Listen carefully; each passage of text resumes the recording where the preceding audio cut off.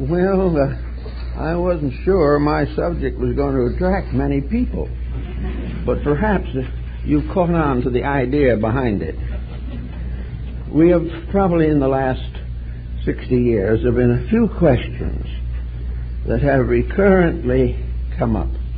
Hundreds of people have asked me a simple question. Why was I born in the first place? That's a good start. From that time on, they get worse. And one individual will say, I didn't ask to come here. And if I'm getting along pretty well, I don't ask to leave. But nobody tells me except that I must do whatever providence demands. So the individual is not very sure of his place in the plan of things, if he has one. Some feel that they are simply the result of biological progression, that there is no reason for anything in the first place, and therefore that the answer to it all is to quietly get through life as comfortably as possible. Others are a little more dynamic in their thinking. They feel that we should go through life making all the noise we can, that we should be busy every moment and uh, dissipate as far as Constitution will permit.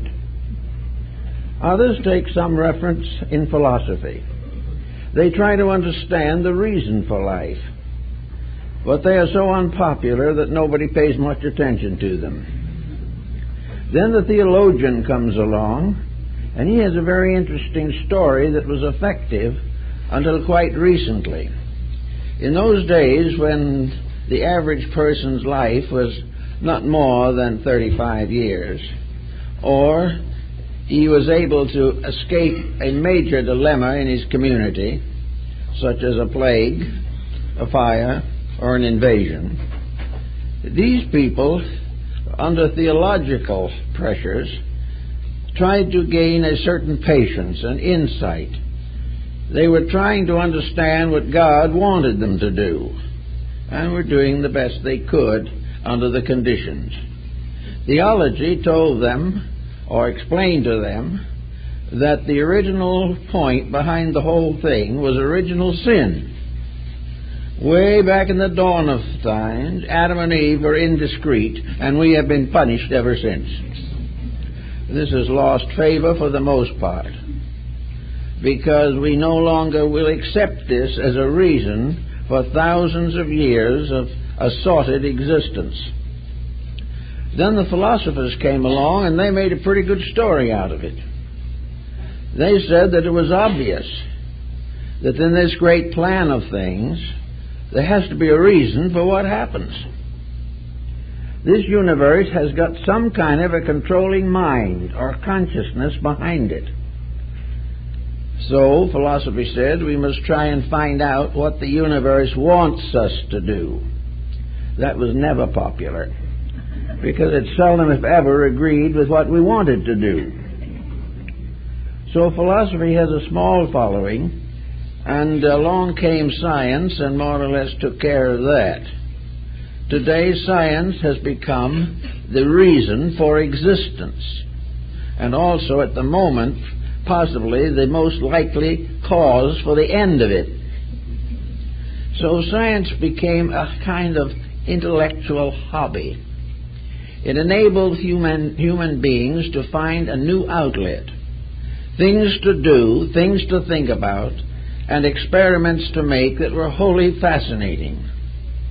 So, so gradually, in the course of time, a sort of scientific philosophy came into existence according to which the real purpose of life was the advancement of knowledge. Well, we have been trying to do that for a long time, and uh, the more we advance, the more our affairs go backwards. So this doesn't seem to be a very good answer. Of course, politics as an answer to anything is virtually impossible. Nobody knows. So we are in, here in a condition in which we have very few definite supports. And yet we are here. And we are here for an approximate length of time. And time is the measure of opportunity. It is in time that we must succeed or fail. It is in time that we grow or decline. It is in time that the span of our lives can be measured within reasonable accuracy. So we have here a time, now approximately 80 years. This doesn't mean it's a limitation. People can live much longer. But on the general average, that's a fair point. Now, this 80 years seems to be quite a span. In the eyes of nature, the universe, it is about one second. And the things that happen in a generation hardly register on the clock of universal events. But we do have this span of time. We have gradually lengthened it. We have made it much more interesting. We have done all kinds of things to use, abuse, misuse time. And yet we have it as a commodity. It really is about the only thing we bring with us as the basis of opportunity for growth, for improvement, or for the development of the individual or collective destinies of mankind. So we all have this time. Now, when we say 80 years, we're not meaning that the individual has 80 years in which to do things. Far from it. Nearly a third of that time has to be used in sleep or rest. Another third of it has to be used to earn a living. And uh, in early life, there's very little achievement. And towards the end of life, there is a weariness which doesn't want to labor too heavily.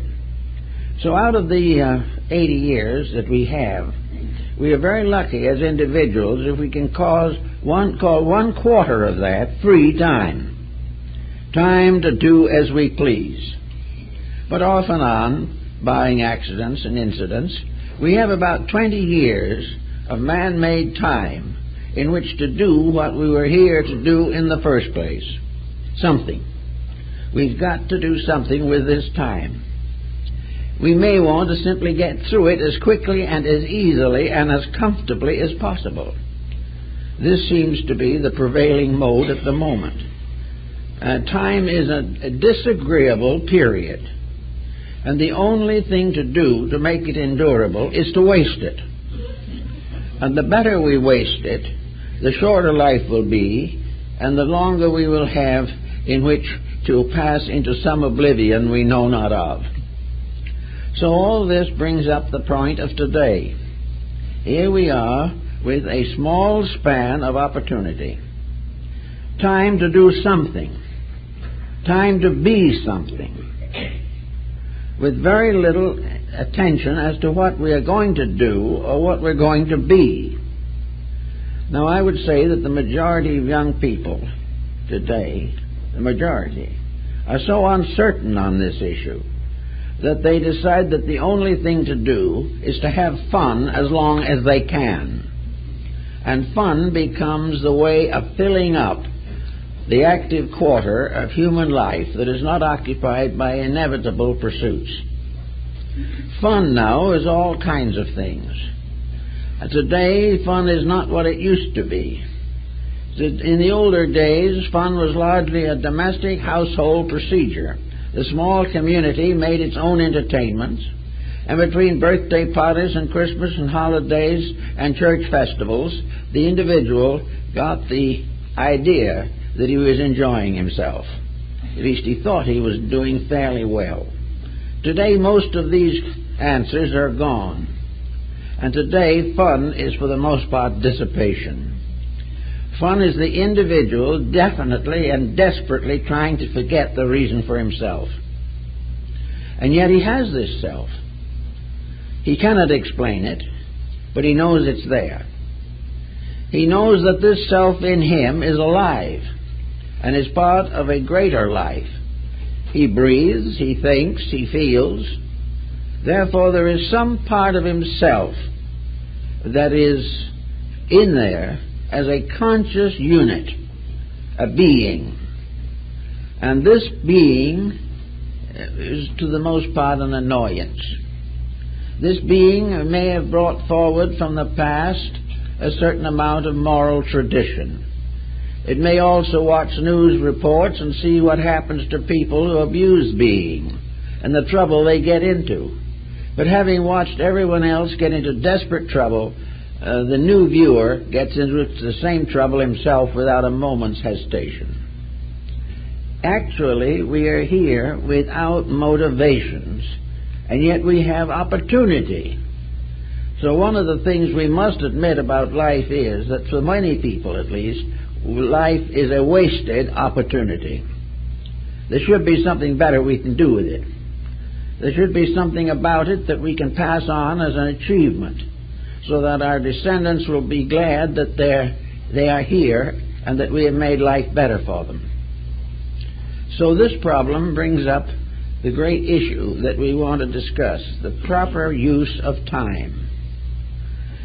And we must admit, I think, uh, the old saying that time is not for wasting. And yet we are doing everything we can to waste it. Our entertainment is a waste of time for the most part. It has been highly philosophized that all these various programs indoctrinate us in great principles and truths and encourage us to avoid ills. But in practice, it does not work that way. We simply sit glued to the tube, and whatever is on there we take. And we waste the time that we might be doing something with.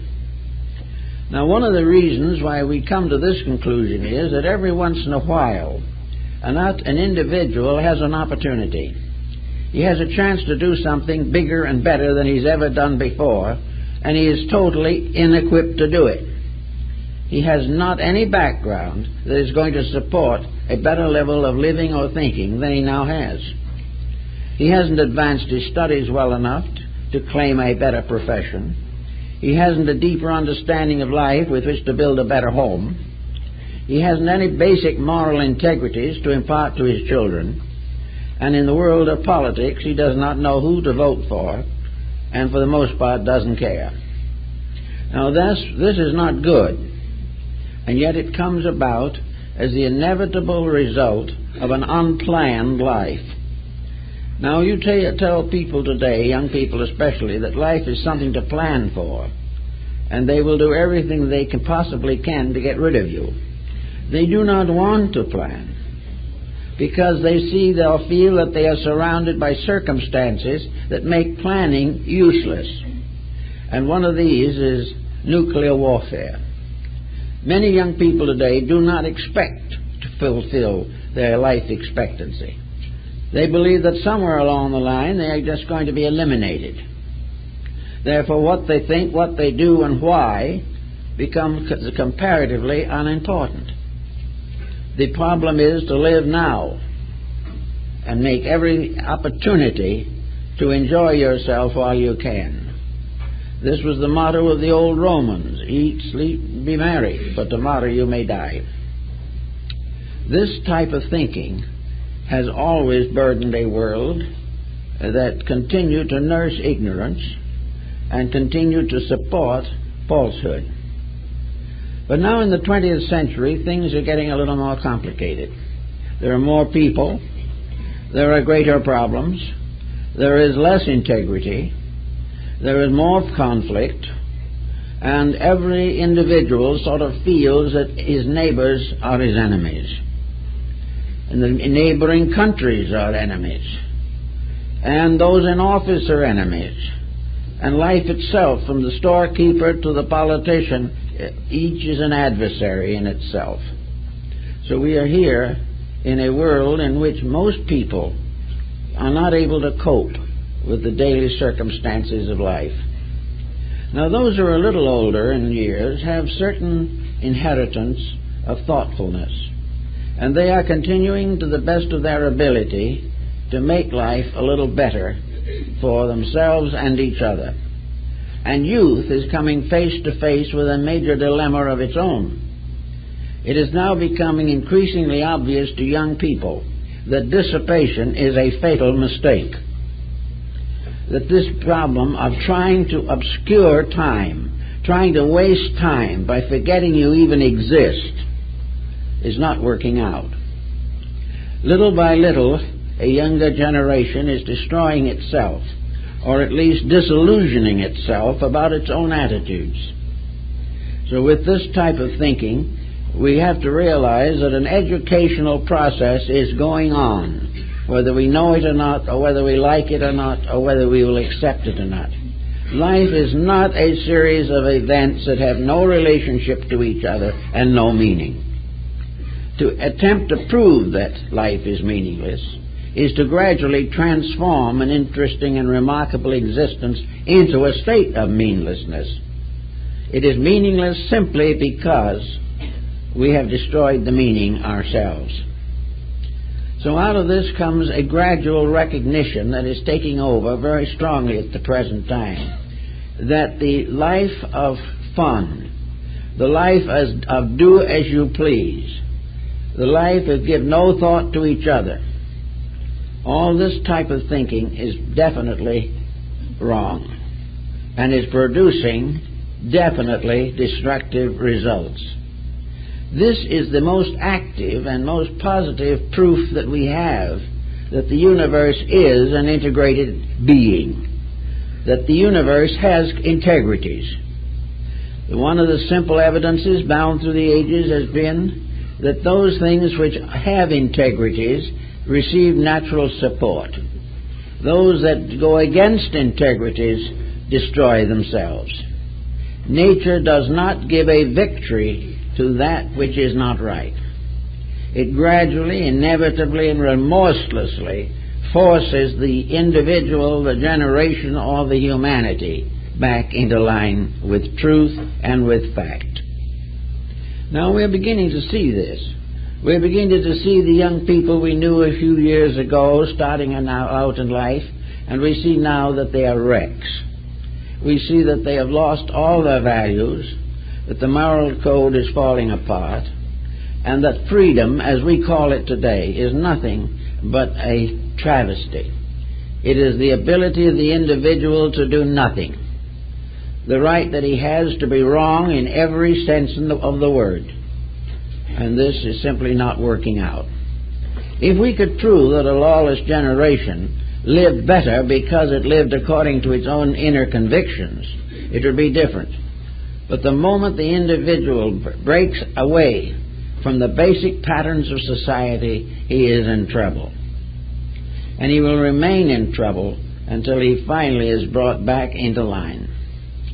So we see around us lots of young people today who are badly frightened frightened over narcotics, frightened over many of the mores of modern living, frightened of dissipation, and afraid of the weaknesses in themselves. The discovery of internal weakness can be a destructive factor, or it can be an inspiration for the individual to mend his ways. So time is the problem we have. This time is limited. This time is something that gives us only a few years in which to do something. Now we know that we have social responsibilities. We know that we have responsibilities to the bodily needs of the flesh in which we dwell. We know that we have to contribute to the support of society. We know that we have to have some kind of income or compensation for effort in order that we can live and eat and have shelter over our heads and educate our children. These are jobs. These are duties. But on, on account of the civilization we're in, most of the charm of these duties has disappeared. It used to be that many jobs were inspiring. It took something to be a good shoemaker, and when you were a master shoemaker, you were a person of consequence. Now, this type of ability is comparatively lost. It is only in the arts, practically, that any individual initiative is recognized. For the rest, we are expected to become machine operators. We are expected to punch buttons. We are expected to follow the patterns of increasing industrial complexity. And at the same time, we are gradually being displaced. Little by little, we are losing our leadership over the machines that we invent. The reason, of course, is obvious. As we invent the machine, we give up our individuality. We try to depend upon the machine to think for us, work for us, and labor for us in order that we may do nothing and enjoy it. This isn't working out at all. We are gradually becoming unemployed because we are busy making a profit, creating the instruments that are going to displace us. We are doing everything possible on the ground that idleness is the supreme achievement, that the individual should spend his life having fun. So he's creating machines that take him out of work in order that he may have fun by not working. But fun without work is not very pleasant if you have no way of making a living. So we are just losing common sense. And with the loss of it, we are, lost, we are losing our leadership in the world in which we live. We are not protecting our domains as animals do. We are not ca- taking care of our young as birds do. We are simply doing as little as we can because the intuitive, instinctual part of our own nature has been blocked. And also, we find that those things we need to do are least profitable. And profit is measured only in terms of gain or fame. So, here we are with this time on our hands. What are we going to do about it? Well, one of the things we have to think of in connection with it is that life is a many splendored thing. We are not just simply here to punch buttons. We are not here to just simply sit in an office and write torts. We are here for a multitude of purposes. And the, the leisure time that we buy by constant acceptance of responsibility is a very precious commodity, something that should not be wasted watching rock music or murder films on TV. There are more things to do. The individual has a self within him to bring out. He has capacities he's not even interested in developing. And yet within himself, he today carries the greatest potential of any living creature on the earth. Man has the power to be that which he is willing to accept the responsibility for. But he wants no responsibility. He wants to do as he pleases. He wants not to work, but to spend. And to keep on spending without keeping on earning comes to a bad end. It is the same in almost everything we do. We are flattered into extravagance. We are wasting constantly what we cannot afford. And we are living beyond our means in the majority of instances simply because we do not care about a future. We do not care about a world we're going to leave behind sometime. If we leave it behind, let it take care of itself. Perhaps some of our ancestors said that, and that's why we're in so much trouble. But regardless of how you look at it, these years that we have, these hours a day, maybe two or three hours a day, are available for something better than wasting, something better than trying to bury uh, our boredom, something that is more valuable to us than trying to forget that we do have a life and hoping that by forgetting and taking our mind away from facts that we can drift slowly into oblivion uh, with a bridge card in one hand. This is the type of thing that we want to try to do. Most, many older people now are just trying to fill up time. They have no real initiatives, no values, and yet they have within them the most powerful force in the whole world, the human spirit. What is happening to it? It gets tired. It gets tired largely because it doesn't have any resources. If it really understands itself, it won't be tired. But if it understands nothing but a job, it will be tired. If it recognizes that as long as it can breathe, it can learn, life would be far more interesting. But we gradually overlook all this and largely are over influencing our own uh, feebleness of age. With nothing to live for, there's very little for the body to do to help us. If, however, we keep on calling on resource, the body will continue to provide it. Maybe not completely, but enough to give us a very interesting and purposeful existence. So, in this particular problem, it's a matter of finding out that we will live longer and better if we're doing something we believe in.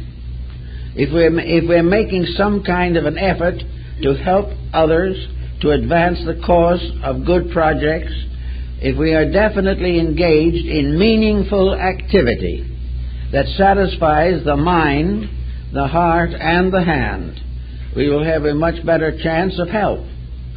There's nothing that is more likely to produce a very serious health relapse than a life devoted to escaping responsibility. The more we escape, the more we compromise, the more we dissipate, the more likely it is that we will practically die on our feet because we have nothing left to live for. Now, if we have some time, it's a good point to start in as early as we can to figure out how to use these potentials that we have. And I think the old guild system in Europe was one of the best that we know. And the guild system was a, a very carefully developed uh, process based upon the Dionysian artificers of ancient Greece. The guild system was the basis of education. The education was what we would term today by apprenticeship. The individual learned by doing. He learned to be a shoemaker by apprenticing himself to a shoemaker. And for five or ten years, he stayed with his master, the shoemaker, until the master gave him his papers, by which he became a full-fledged shoemaker in his own right. And having attained to this particular distinction, he had a career for life. He was also bound by the system to the integrity of his labor. Every pair of shoes he made was part of a guild structure, and a cheap pair of shoes was a disgrace to every shoemaker that ever lived. And when it happened, the disgracing one lost his papers.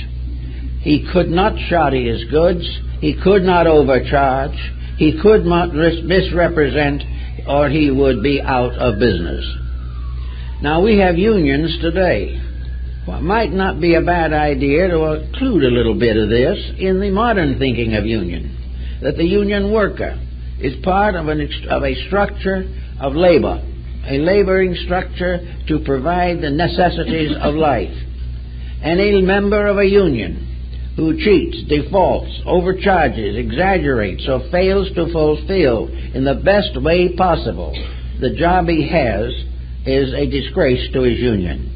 And in the middle, in the 16th and 17th century, that disgrace came as a very rapid punishment. So the union produced, those unions in those days produced these workmen who were trained, who were dedicated, and to whom a good day's work was part of a basic religion and was sanctioned on the point as to whether there is a God or not is a good religion to do a good, honest day's work. Now, this type of thinking has kind of disappeared, but the guilds had another interesting point. When you were a member of the guilds, you just didn't you didn't just go on all the time doing nothing but shoemaking. You had a complete pattern of life in there. And these guilds, all of them, functioned on a level of creative art. A good guildsman was probably a musical composer. He made shoes in the daytime and wrote poetry at night. He not only did that, but he had competitions in music in the local church or cathedral. He had all kinds of artistic achievements. He was a composer. He was a literary man. He did everything you could think of. Perhaps he was a tailor in the daytime, but at night he painted portraits. Every guildsman had to have two strings on his bow. He had to have two things to do. One, to make a living for himself and his family, and the other, to make a living for the being inside of himself that wanted to do something important. So these people We, uh, we know probably one of the best examples of this is the story of the Meistersingers of Nuremberg in the opera of Richard Wagner. Here Hans Sachs is the hero, a shoemaker, who was also a politician, was an artist, a musician, had his apprentices and taught, and taught them and teach and taught them as a parent, not as a taskmaster. He wasn't there to get the last ounce of life out of his apprentices. He was there to see that when they came and got their papers, that they would be a credit to the guild, a credit to the trade they belonged to, and also that they would share in the avocational developments appropriate to a good workman. A good shoemaker cannot make shoes 24 hours a day, even if he could stay awake. A good man in any line, a tailor, a grocer, a mechanic, they cannot do nothing but that without destroying the inner part of their own lives. Therefore, everyone who has a trade should have an art. Everyone who has a craft should work towards a profession. Everyone who is working works for three things the good of society, the advancement of human needs and his own life, and the glory of God. Those were the principles upon which labor was originally based. Today, such thoughts are little better than treason. We have lost all of this. We have lost it and have now made it a virtue to think of only one thing, and that's your job and stay on it till you wear it out, and then someone else will take your place. This is not humanity. This is the result of a loss of the realization of the human dignity of every human being. That we are all here for mutual support. In the course of society, it has become necessary for us to all cooperate to maintain the common good. In one way or another, we all have to help each other whether we like it or not. But in the making of this type of a decision, we need dreams, we need hopes, we need visions, we need something in the inner life of the individual that makes it needful and proper for them to grow, for him to grow as a person. He must not only be a good carpenter, but a good fa- father. He has not only to work to maintain the physical existence of his family, but to see that it grows, is educated, and if necessary to sacrifice much of himself for the burdens which he has voluntarily assumed. But if he is proper minded, these experiences are all valuable. He may, learn, he may learn a trade, but if he fails to hold his home together, something is wrong with his integration. So now we come to this top problem of time. These hours that we have to ourselves are the opportunity for our cultural development. They are the period and time in which we can do the things that we want to do. But everything depends upon our wanting to do something that is worthy of a human being. It doesn't have to be a great and masterful achievement but it has to be something that is a step ahead of the monotony of labor. It has to give some contribution to the involving and evolving of life. When the old guild masters built a house, it was, it was more than just a roof and a basement and four walls. A house had to have something about it that was beautiful.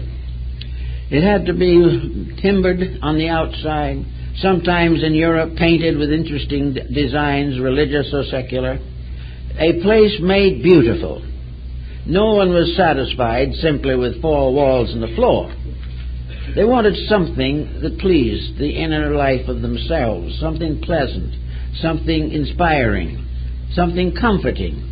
And the same when they furnished it.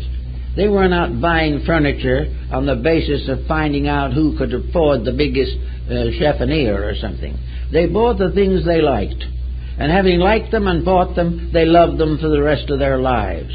The process of dumping the house and finishing it every three months does not occur as an example of taste.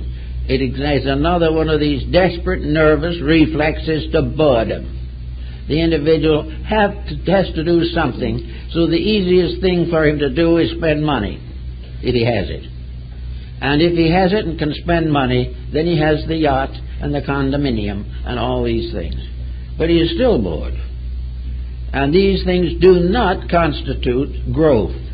They do not make a better person. And the purpose of time is to make it a part of growth. It is our growing time.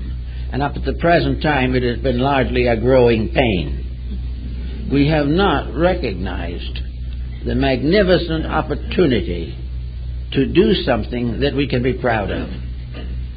Is no use trying to be proud of the fact that we are more eccentric than somebody else, or that we are in worse taste than our neighbor, or that we make more noise than anyone else in the community. These are not the tests.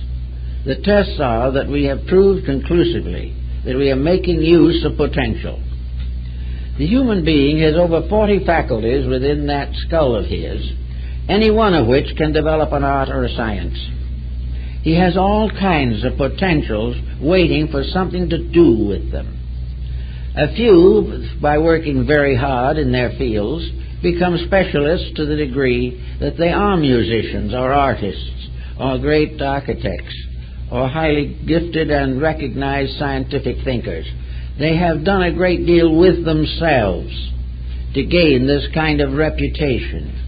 And we all have the opportunity to spread out into the fields of emotional maturity. Our emotional lives are going to pieces also. There is no longer very much integrity in them. Emotion at the present time is simply a quick reflex to escape boredom.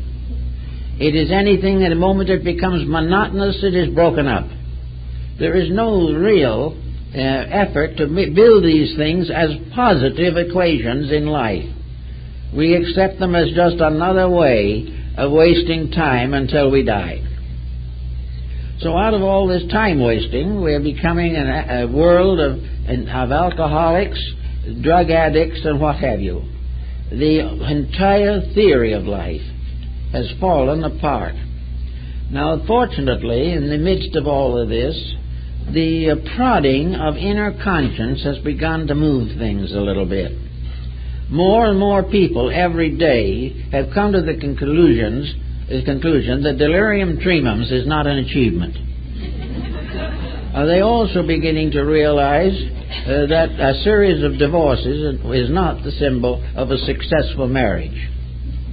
and also that children uh, becoming uh, minor delinquents are not proof that we're doing things well in the home.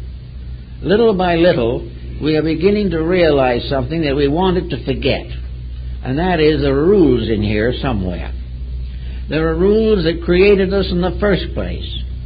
They are rules that are magnificent in their potential. The rules far beyond anything that we can achieve or hope to achieve. We cannot keep the stars in their courses. We cannot prevent the changes of seasons. We cannot make any great variation in the laws of nature, but we don't need to. Most of these laws are working eternally for a purpose. And in these laws there is an integrity, even when the laws do not please us. If a law doesn't seem to please us, then we are inclined to change the law rather than ourselves. Now, if it's a man-made law, we can change it with a reasonable amount of discretion. But a divine law, we cannot change. In the case of a divine law, it intends to change us, and will do so at all cost. So in a universe in which man is trying to take over the divine prerogatives, but has never been able to control himself, there is a need for a new attitude toward time. The only chance we have to learn how to live in this world is to live in this world. The only way we can find out the better things of this world, uh, the only way is to cultivate those better things, to become aware of them, become interested in them, become dynamically involved in them. Now we look around and into the present situation. Which way do we turn? Well, a great many people are turning to religion. And if the selection is carefully made and thoughtfully fulfilled, it can be a very great help. Because religion will remind us of one thing, namely, that there is a moral universe, and we are a citizen of that as well as the physical world. This moral universe of integrities is known to all the religions of mankind, and we gradually come to realize that if we break too many of the commandments of religion, we destroy our civilization and ourselves. We'd like to escape this. When we uh, read it says in the Decalogue, Thou shalt not kill, we pause for a moment, but many people will say, Well, that was written long ago. We can't follow that now. It's just not possible. And uh, so we ignore it. Go to church, teach religion to our children, and declare war on another country. We just don't seem to realize it. Then, in the name of the war, if we patriotically serve our country, then we are heroes. Not because we have prevented a war, but because we have, in our best integrities that we know, we have given of ourselves as much as we can. But the problem is not solved this way.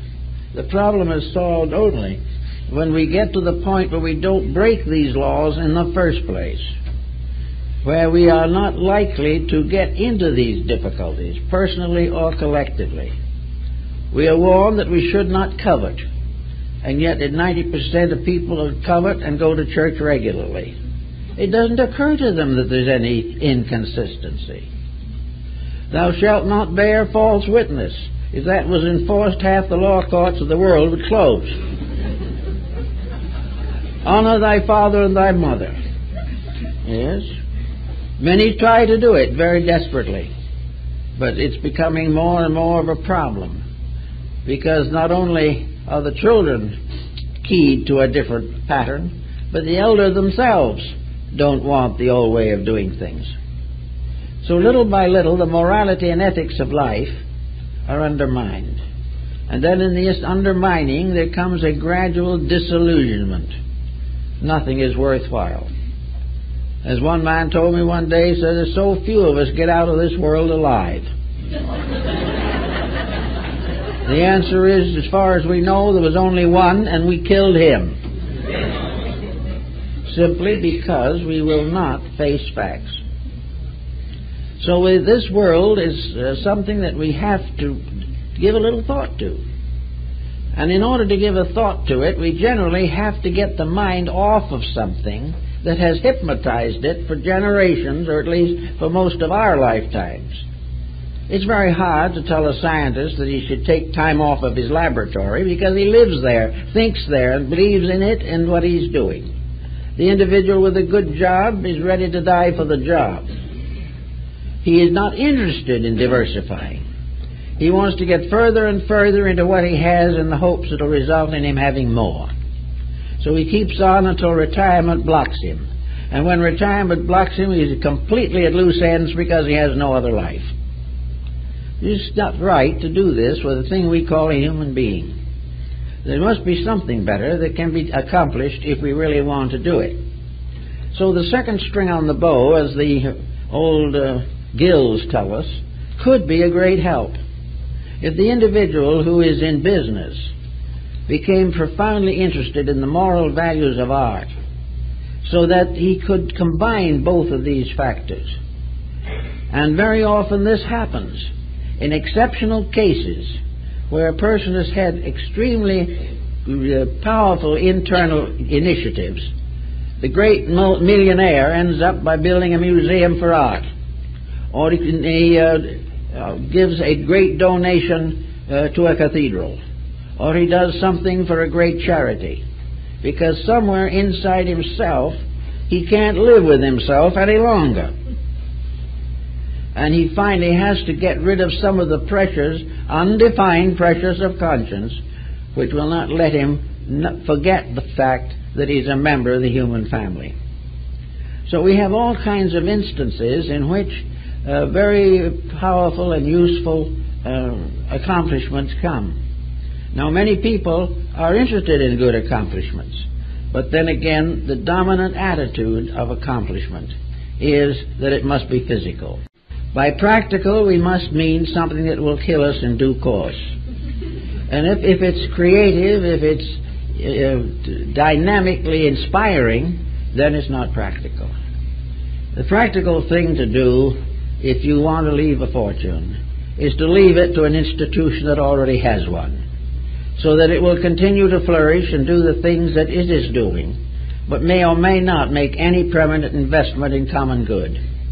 Everywhere, the individual is now tempted to support trivia and not the things that are necessary in life.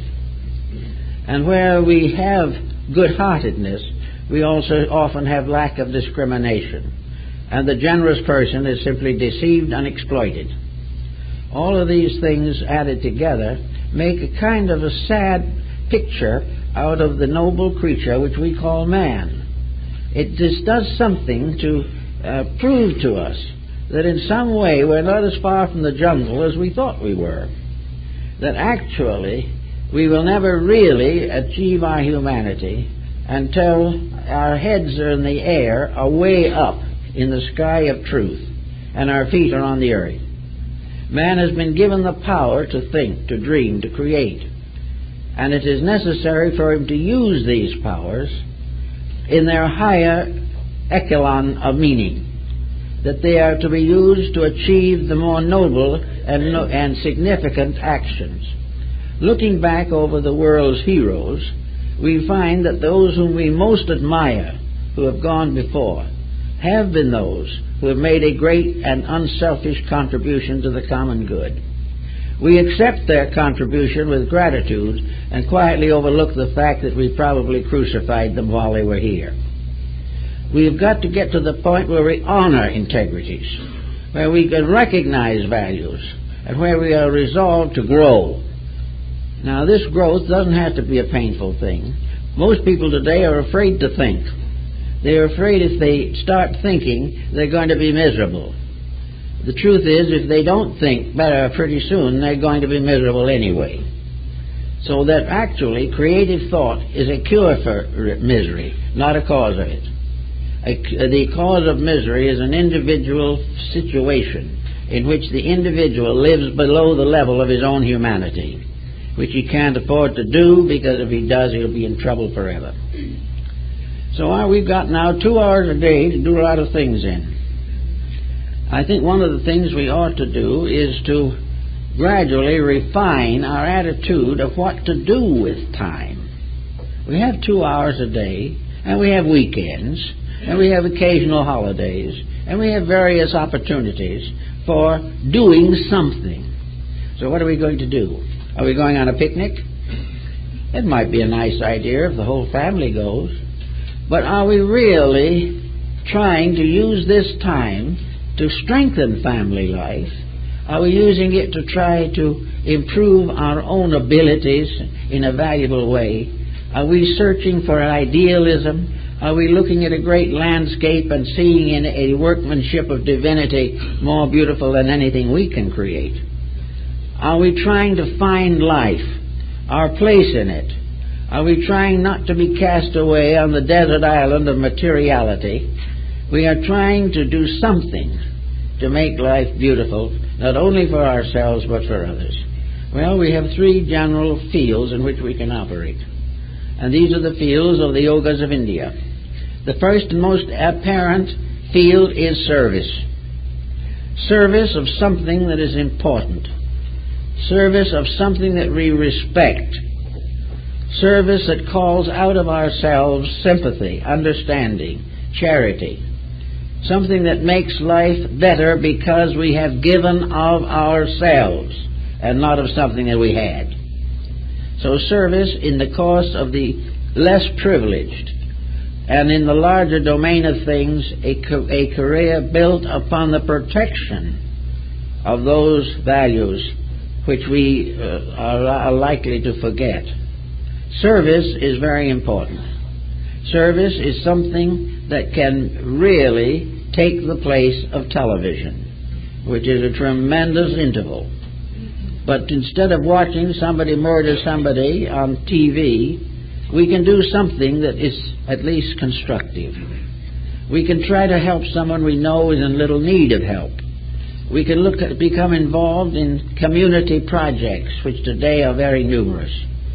We can do all kinds of forms of service and find greater help and greater happiness in working with underprivileged persons than we find listening to rock music on radio. And we can do something with life gradually to make ourselves a little bit glad about ourselves that we are doing something that might be of some general public value. Now, the second form of uh, uh, growth, uh, of unfoldment, is self improvement. Self improvement implies a great many things. Young people starting out today have problems of education. They are not planning an education in most parts. They are looking around or listening to somebody tell them what job will make the most money. They don't realize the fact that the job they're going to plan for because it makes more money may not even exist by the time they graduate. We are losing more people who were trained in something that is no longer being done than we can afford. So instead of this type of thing, there can be a discrimination, a discretion. What kind of a future can a young person make or build that is almost certain to survive? It won't be a computer, because the computers of 10 years from now, he won't be able to operate without at least 10 more years of instruction. It won't be to be, make a better mousetrap, because they are practically extinct.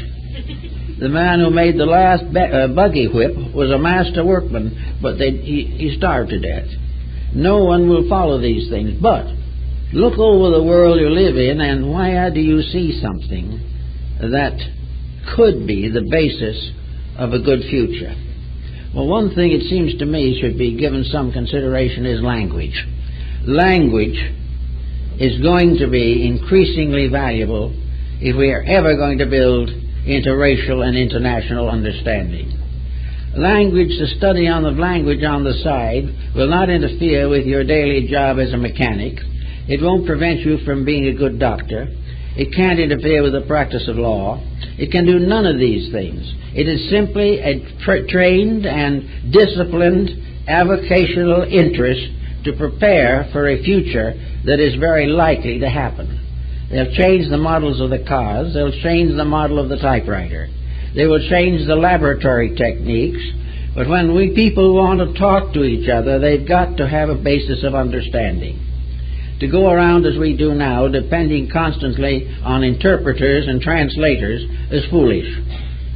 We are mostly, for the most part, an isolated world limited to the English language. A world is growing up around us in which other things are going to be tremendously important. And we cannot also depend upon the mistranslation of our ideas by uh, undisciplined or unscrupulous politicians. So language comes in. Now you can get a genteel knowledge of French, but this isn't going to be so useful. Languages will have to be selected for use. We are developing a tremendous polyglot population here. Language is going to be very useful. But most of all, it's going to be a problem where someone will come up and say, We've got a job that is world importance. We need a good American to fill this job, but he must speak Russian. He's not going to have much competition. Another one will say, I, We can put a very good man in Taiwan, but he must speak Chinese. So somebody else gets the job. And we keep on doing the things we always have done because we haven't built a future on an imagination. We haven't sensed the things that can be done that could be tremendously important. But our avocational interest also opens in language a whole world. It opens art, music, literature, history. It gives us a tremendous new uh, atmosphere in which to work. It is an open door into a larger world. And it is much more important to us than watching somebody shoot somebody on TV. Now, that type of thing is a specialized problem in training. And as we look at it, we realize for once that it has nothing to do with the crafts and trades with which we are familiar. We are not going to be in need of more mechanics. We'll have more than we ever need. The same of doctors and lawyers. What we are needing is people who can communicate on human problems. And this is very, very short in supply at the present moment. So here is one way of planning that extra string on the bow. You don't hasn't doesn't doesn't have to be language, but it has to be or should be something which is not dependent upon somebody inventing something out of it. It is not something that we must compete with others who have more skills than we have. It is something to contribute to understandings of life. This is the second problem. It is the bridging of intervals. It is the bridging of ignorance. It is the breaking down of the barriers which lead to hypocrisy and intolerance. So these things are very important, and we can give them a lot of consideration. Another field that is, of course, tremendously vital is interreligious and interphilosophical understanding. The time has come when it is necessary for the mature, thoughtful person to understand the beliefs of the human race, what they mean, and how they can be advanced and used. And whenever a person from this country or any English speaking country goes to a country with a different religion, he should go with a reasonable understanding of the mechanics and inspirations of that other faith. As a language will open one door, a common belief in the integrities of people will open another door. This does not mean that he has to give up his own religion. It simply is that he has to recognize his own religion in the religions of other people, and that the same principles and ideals are there. So to communicate on that matter from a business standpoint, from a career building standpoint, can be the difference between another civil war and a better understanding between nations. These things have nothing to do with money but they have to do with a great satisfaction of the spirit. And this is something that we are losing and don't know what to do about. Then we have other problems, and that is uh, the uh, Oriental philosophy of self discipline.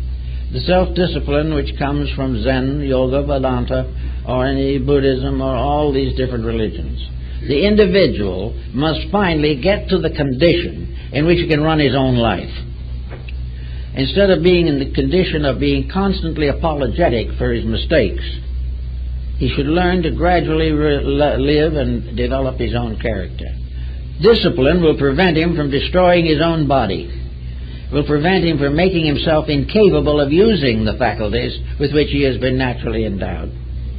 Discipline, therefore, is a tremendous value it prevents almost all forms of misunderstanding. It ends gossip, jealousy, and all the small troubles that bother humanity. Discipline is to put the self under the control of a pattern. Now, this pattern doesn't have to be everybody else's pattern, but it must be a pattern which ensures that the person will never be, the le- be less in his conduct than the best that he knows.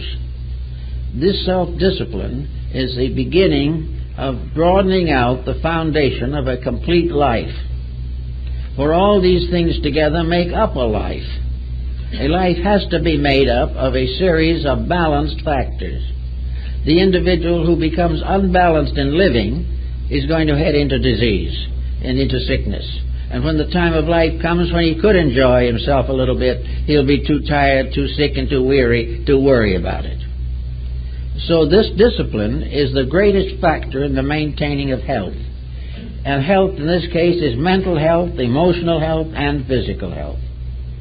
So a little time devoted to this problem, a little discipline every single day, a fulfillment of those things which are best as they arise, the control of temper, uh, the uh, control of unkindness, the end of bickerings, the ability to live with someone who disagrees with you and still live happily and harmoniously, simply because you have overstepped or gone above the basis of quarrels. If you rise high enough in quarrels, you will finally eh, find that they end in unity. But if we nurse them on the earth, they will never get over it.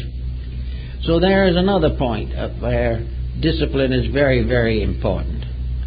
Now, all children growing up, and young people, and for that matter, all old people, must learn to love beauty and love life as it is. Instead of going out to criticize everything they see and do, they've got to learn the dignities of life. They've got to learn to appreciate emotionally and mentally uh, the beauties with which this world has been naturally endowed. The sunsets, the gardens, the flowers, the trees, these things are remedies for hate, suspicion, and despair. Little by little, the natural universe, if given an opportunity, can bring great consolation to our hearts and minds. We have to gradually learn that we live in a beautiful world. And if it looks a little otherwise, it's largely because of us. That actually we live in a well disciplined pattern. We live in a world that is almost like a great clock in which everything runs on time. We are living in a world in which laws and rules and patterns are highly protective. But we have taken the attitude that protection is a kind of imprisonment, that we are being protected from doing the things we want to do, when in reality we are protected from doing the things that we can't afford to do, but we don't realize it.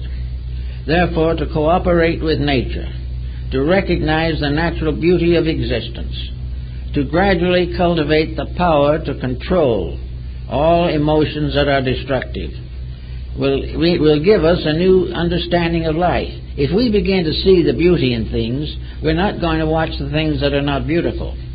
We're going to realize that asymmetry, discords, these things are the result of ignorance, of misunderstanding, and of excessive lack of discipline we are going to realize that where the individual can't endure himself, can't live with himself, can't understand himself, he will make a loud noise. This doesn't solve anything, but it gets it out, gets him out, gets it out of his system, but only for a moment. Five minutes later, he has to make another loud noise, and so on until he is too weak to continue the process. Actually, therefore, we have to recognize that time is a problem in health. Time means that we should do everything possible to maintain as good body health as we can for a reasonable length of time. That we should try to be able to face life with a certain amount of conserved vitality. If we waste everything we are on riotous living, we have no vitality, we have no health. And not only is health important toward the perpetuation of life, it is important for the moods that we, in which we become involved. The individual who is who has lost his vitality, who is who is variously dissipated, run down, confused physically, and ailing most of the time, cannot have the proper internal adjustments with truth or reality. Now we have another fight in connection with this, and that is this problem of reality. The sophisticate, the skeptic, would like us to believe that there is no truth, that there are no realities, that existence is a vast unconditioned accident, that all things just happened, and that the uh, this just happenings uh, includes everything of biology, archaeology, astronomy, everything you can think of. The universe never was an intelligent thing. It was just there. Now, to have thousands of years of culture and 20 years of education in our present embodiments and be told that nothing means anything in the first place or the last place is a little bit weak. It is, it is a little bit uh, uh, an indication of stupid sophistication. It is not that way. You cannot assume, even for a moment, that this vast machinery that we see around us is without a soul. It has to have a mind. It has to have realities, and it has to have purpose. We can't imagine an eternity going on forever beyond the concepts and beyond the furthest imaginations of mortals, simply for no reason. The, we too cannot actually also take it for granted that, the, that anything is the cause of itself. We can't assume that nothing brought forth something, that no law gave us laws. We cannot assume that the vast pageantry of spheres, which we can contemplate at night if the fog isn't too heavy, is nothing but an accident. We are already, in science, saying it is an accident or has no meaning, at the same time depending upon it exactly and absolutely for the advancement of this science itself. If there were not rules, no scientific experiment would have any meaning whatsoever. It is because of these exactitudes that research is possible. And yet, at the same time, we cling to these exactitudes and deny their meanings. We have got to take a new attitude towards this whole problem because it's getting nowhere. We have to realize definitely that whatever the facts may be, we must have some kind of a personal integration. We must have a philosophy of life. We must have a code which is sufficient to ourselves. And if we want to assume that we are the only creature in the universe that has such a code, what is the difference? We have to have it. We cannot afford to attempt to exist without it. For this code is the basis of the complete survival of the person. Without this code, some part of each individual is going to die. The death may not be complete. He may linger for 75 or 80 years, but some part of himself has died when he ceases to dream, ceases to hope, and ceases to have faith in the purpose for which we are created. So we have to be, we have to have little thinks about this type of thing. Now, it may be that uh, I remember a man who was in western Pennsylvania who had a farm. And this man had a little stream that ran through his farm. And the stream was a rather muggy little thing. It didn't amount to too much. And uh, he didn't pay much attention to it. And so finally along comes one of these engineers that's hired by the community uh, to take care of the safety of the citizens and he made a series of researches that took about a week to find out the quality of the water in this little creek. And he finally decided that it wasn't fit to drink, that it wasn't fit to be used by cattle, that the water was not safe. So carefully he made all these researches and uh, came to this conclusion. So he told the farmer, he said, you can't, so we find now scientifically that you can't drink this water and you shouldn't give it to your cattle. You shouldn't even use it for bathing. It's that bad. And the old farmer said, well, I guess probably right. My grandfather told me that 75 years ago. and the man said, how, how did he know? Oh, he said, it's very simple in those very early days, why, there were fish in this pool, these pools. And after there's too many cesspools and so forth, the fish all died. He said he noticed that 75 years ago. And it didn't cost a nickel. This survey was very expensive and came to the same conclusion. Native intelligence can take care of many problems about which we now build great scientific projects. Because science is instead of being organized common sense, it is a definite effort to reject common sense as being insecure, unreasonable, and unrealistic. And yet, it had not been for common sense, most of humanity would never be here. Common sense is very important, and it's really most uncommon. But actually, common sense is based upon a folk st- statement or concept that the common agreement, the common mind of people, is very apt to be more accurate than any spe- specific research project. We all know because we live. And those who live in the world know more and know it, know it sooner than those who function behind the walls of a great laboratory. Science has its place, there's no doubt about it. But science also has to realize that if it doesn't find God, that doesn't mean that God isn't there. It means that a highly specialized training has been built around a concept of a series of universal accidents, which to my thinking is the worst form of non-science that you can possibly imagine. How science can build itself upon an accident is rather difficult to understand. But they, ra- they rationalize it and do a fairly good job of it. But we all need discipline in our lives. We need to say, uh, as Muhammad is supposed to have said, that there is the 24 inch rule, the day, 24 hours, divided into three eight hour, eight, uh, hour periods. The first of which is for rest and repose. The second is for labor.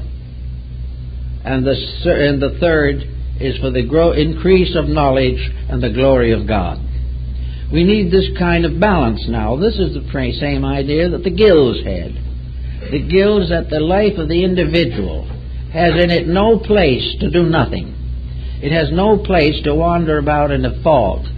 Whatever life we have is useful, must be useful to the day we die, and maybe a little longer if we really could understand all of it. But in any event, there should be no waste of time. Now, uh, wasting time is not answer of joy. Uh, we do not have to make time a burden. Time is not, an op- is not a responsibility, it is an opportunity. There's much time is good. There's time to have fun. There's time to be happy. There's fi- time to serve the common good. But in all time, there must be growth. There must be something accomplished that makes us better for ourselves. If time can in the long run make us happier, then our happiness will be real. But if we depend for happiness upon dissipation, our happiness will be fatal to our survival. Little by little, we have to keep the rules if we want the rules to keep us. And these rules are that we've got to do things that mean something. That relaxation and time are for good, for happiness, for growth, for the development of potentials and in some cases, we find people of retirement age who go into a new business and make a success of it. But if the business has something for the common good, the older person who is no longer so much concerned with wealth is likely to be a very good servant to a common need. Everywhere to work together is good. Everywhere to, to use spare time for pleasant uh, labors. The Chinese, when he has a couple of spare time hours and he doesn't know just what to do with, is very apt to go out in the bamboo grove and read poetry. He might also go out in the bamboo grove and write poetry. Or he may join his neighbors in a little tea ceremony to be associated with the contemplation of the beauties of nature. We uh, drive through the beauties of nature at a pretty fast rate, and we fly through even faster the world of nature has disappeared for most people. The only time we really see nature now is when we have to watch somebody else's picture that they took on a vacation. that is how we travel. But there is a world that we're missing, a world that we're cutting out. Overpopulation and urbanization is resulting in the destruction of the beauties of nature and of life and, and, and surmounting this difficulty is getting to be a great problem. We have to find new beauties that we didn't understand before, but we must have beauty or we die. So little by little, we have to do to find the things that help to make life possible, and if we can do that, we will have uh, a good life, and we will make proper use of time. It is here because it is the golden opportunity. Time goes by, and in the end, the hourglass runs out. But time, while it is here, it reminds us of the saying of the old Greek sage, who on his deathbed was listening carefully to the gossip in the front room. They told him he might not be alive more than an hour, and it wasn't worthwhile to listen to gossip anymore. But he was up on his elbow with his hand curled behind his ear, and he said, Well, I may be dead in an hour, but I'm alive now. And while I'm alive now, I can learn. And the, the uh, use of, of, of knowledge and time to find out why we're here and why it is that we need to be here and what we can do about being here and how we can help to fulfill a plan of which we are a part and from which we can never escape. If we begin to think in these types of terms, we will have better music, better art, better literature, We will find opportunities to find the refreshments of idealism, and we will not be continuously confronted by something that destroys our faith in ourselves and other people. It's just a matter of each person becoming more or less immune to, immune to the negations which are dominant in him and around him. He must gradually build a strength of inner life, not a great, big, massive, stupendous thing, but a gentle, kindly, quiet appreciation for that which is good, and a resolution to support good where he finds it, and refrain from involvement in corruption. If these things can be worked out by a simple process, the simplest person, even a child, can gradually come to understand the importance of this point of view. The child can learn why he is here before people misinform him on the subject. He can learn why he should have a nice disposition, why he should learn, why he should study. And gradually the curriculum can be made into something that he will enjoy rather than resent. I think most children would be willing to accept a form of knowledge that would help them to grow into the right kind of people to grow into the fulfillment of those natural impulses and instincts which we all possess. We want to be happy. We would like to have a nice home. We would like to have a successful marriage. We would like to have attractive, interesting children. And we would like to help to build them into characteristics which are good for them. We have lots of things we can afford to love, but they are not the things that hurt us.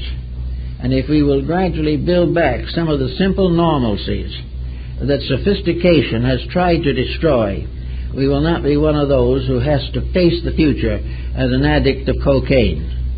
It is all part of an escape from self, when in reality that kind of self that the individual is trying to escape is the truth in him which he is trying to deny.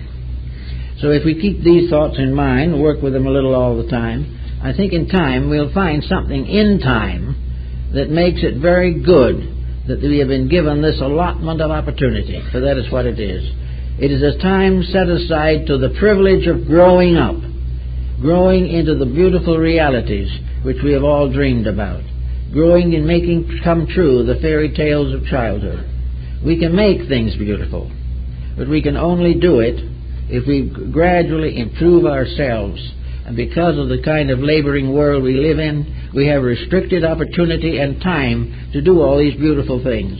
We can do most of them, however, if we do not waste the time. And that's it, folks.